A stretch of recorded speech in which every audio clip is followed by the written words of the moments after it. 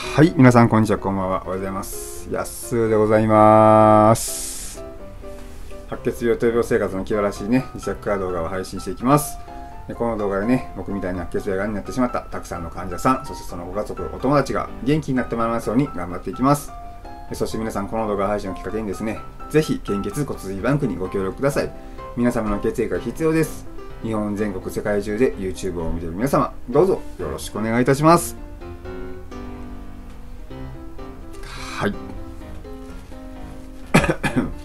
えーとですね、まあ、その造血管細胞移植というのがあるんですけど、まあ、わかりやすく言うと、その、えー、骨髄移植のことなんですけども、まあ、その骨髄移植をした後にですね、あの、他の血液の各細胞もそうなんですけども、白血球の生着後も、その白血球の数や機能が回復途上にあるためにですね、非常に感染しやすい状態にあります。まあ、そのため、長期にわたって感染症に注意が必要なんです。まあ、その移植後のね、早期にはですね、特に免疫細胞のね、数でしょ、で、機能でしょ、それが十分なくて、なくてですね、機能してなくてですね、まあ、その同種移植、まあ、骨移植のことなんですけども、まあ、GVHD の予防をね、治療のためにね、まあ、投与する、その免疫抑制剤、ステロイド、ねその影響でね、さらに免疫力がね、ぐーっと下がってしまうんですよ。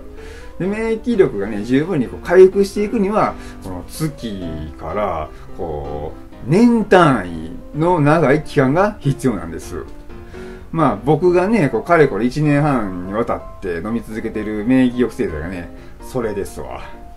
最初はね、すごい分量多かったんですけども、その体の状態に合わせて、だんだんこの減少していく、数をね、減らしていくっていうふうな感じで免疫抑制剤って飲むんですけども、まあ、それ本当にね、その免疫抑制剤が原因で感染症にかかりやすくなるんですよ。まあその感染症の原因っていうのがですね、その主に、えー、何や、細菌、心筋、カビですね、あとね、ウイルスなどでね、その体の外から新たに侵入してきたその感染症を引き出す場合とですね、体の中にもともと、えー、錠剤とか潜伏していたと言いますかね、ものもあるんです。まあ、例えばその口腔内とか腸の中とかもね、心筋、細菌、そのあとは肝炎ウイルスなどがね、粘膜障害、その免疫障害の低下に、えー、伴ってですね、感染症を起こす場合があります。まあ、これは自分の体の中にあったものなんでね、そういう姿が悪さをしてしまうわけですよ。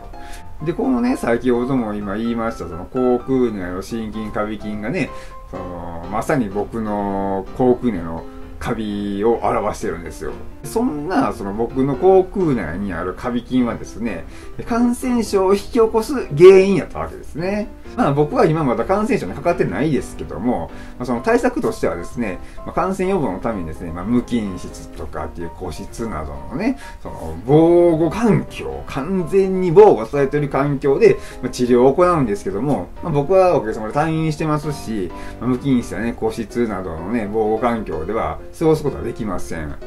その他には、抗菌剤でしょ、抗心筋剤でしょ、え抗ウイルス剤を投与します。まあ、お薬を飲むわけですね。まあ、患者さんのね、その症状、それぞれの患者さんの症状やね、検査結果からね、感染症がこう、疑われた際にはですね、まあ、特に免疫力が低い時期にはですね、病原体やね、その、感染してしまったその臓器とかあるじゃないですか。それの確定と診断される前にですね、治療をね、開始する必要があることもあります。まあ、僕は、その、今はね、何も疑われてないので、えー、治療を開始することもありませんけども、まあ、今やってることはね、うがい薬です。このうがい薬をね、使ってると口の中のカビの状態がね、抑えられますので、とね、歯科の先生に言われたのでね、使ってるんですけども、まあ、そうするとですね、確かにカビの状態がね、すごい抑えられてて、すごいね、好調です。快適ですね。まあ、なので、そのきっとこれはね、あの、抗心筋剤がね、入ってるもんだと思います。まあ、髪のね、症状をね、抑えてくれて、結構今ツルツルになってるんですよ、本当に。まあ、使えばツルツルになるんです。ほんで、ちょっと飲み忘れる日があったら、うがい、飲むじゃないわ。うがいする時が忘れることがあったら、まあ、すぐね、その、状態がね、悪化するんです。ほんで、まあ、うがいをすればね、その、カビはね、抑えれるんですけども、あの、舌、ベロのね、ヒリヒリとね、麻痺がね、治りませんね、やっぱりね。抑えると治すは、ちゃいますからね。皆さん、あの、注意しましょうね。それは全然違うもんなんでね。まあでもまあね、そのカビだけがね、その感染症の原因じゃないんですけどね、まあ、カビは一つの感染経路なので、皆さんの口腔ケアをね、行ってください。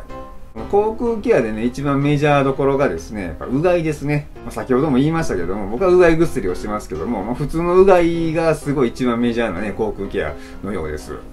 まあ、うちの息子のね、歯医者にもね、まあ、ついていくんですけども、まあ、というか僕が連れていくことが 結構多いんですけども、まあ、そこの先生が教えてくれたお話なんですけどもね、まあ、例えばその、ご飯を食べた後、えー、お菓子を食べた後、で、ジュースを飲んだ後とかね、まあ、その後には必ずコップ一杯の水を飲ませてあげてと言われました。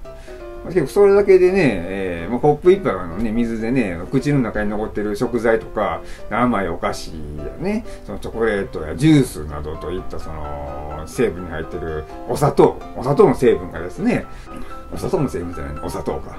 そういったのが、えー、ある程度ね、洗い流せれるらしいです。でほんまはすぐに、その、歯磨きをね、ごちょごちょ引いてして、したらいいんですけども、まあ、子供にね、食べてすぐにね、歯磨きせえ言うのがね、なかなか難しいので、まあ、せめてコップ一杯の水を飲ませるのが効果的らしいです。まあね、うがいせえって言うてるんですけども、その、の水を飲むだけでも十分らしいですね。まあ、その、ほんまはうがいした方がいいんですけども、その、無理にね、うがいするせんでもね、その、水飲むだけで十分よって言ってたんで、えー、子供さんは、その、水飲むぐらいでいいらしいですけどね。まあ、でもね、その、できれば、うがいと歯磨きをした方がいいみたいです。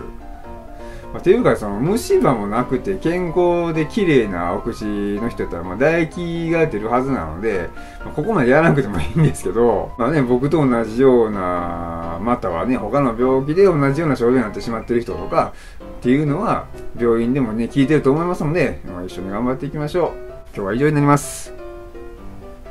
ね、最後まで見ていただきましてありがとうございました。この動画がいいと思いましたら、グッドボタンとチャンネル登録をよろしくお願いします。そしてね、この動画、このチャンネルがよりたくさんの方々に届きますことを願っております。本日もご視聴ありがとうございました。バイバイ。僕は元気でーす。